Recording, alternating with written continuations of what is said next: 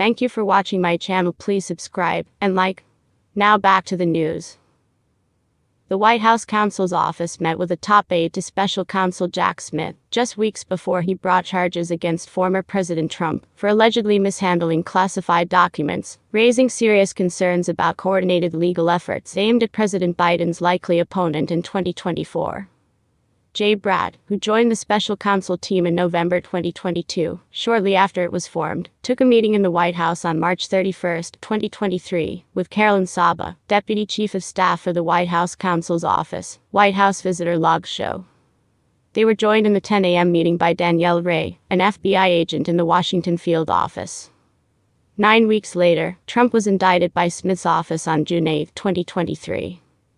Bratt, 63, also met with Saba at the White House in November 2021 when Trump was mired in negotiations with the National Archives, who were demanding the return of presidential records from his Mar-a-Lago estate before a formal investigation had not yet been opened.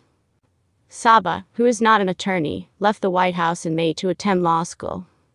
Bratt had a third meeting in the White House in September 2021, this time with Katherine Reily, an advisor to the White House Chief of Staff's office. The logs offer no information about what was discussed at the meetings. Critics and legal experts question why Bratt was taking meetings at all with the White House counsel's office, while part of an active investigation into President Biden's likely 2024 Republican opponent. There is no legitimate purpose for a line DOJ guy to be meeting with the White House, except if it's coordinated by the highest levels, said former Nick Mayor Giuliani, a one time top federal prosecutor in the Southern District. When asked if he believed the White House and special counsel were coordinating the prosecution of Trump, Giuliani said, You're damn right I do. What's happening is they have trashed every ethical rule that exists and they have created a state police.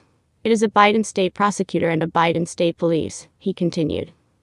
The former mayor, who represented Trump during special counsel Robert Mueller's 2018 probe of Russian interference in the 2016 election, was indicted last week in Fulton County, Georgia, in connection with attempts to overturn the 2020 presidential election. George Washington University law professor Jonathan Turley said the March meeting was particularly troublesome and raises obvious concerns about visits to the White House after Bratt began his work with the special counsel. There is no reason why the Justice Department should not be able to confirm whether this meeting was related to the ongoing investigation or concerned some other matter, he said. Peter Carr, a spokesman for the special counsel, said Bratt was at the White House for a case related interview.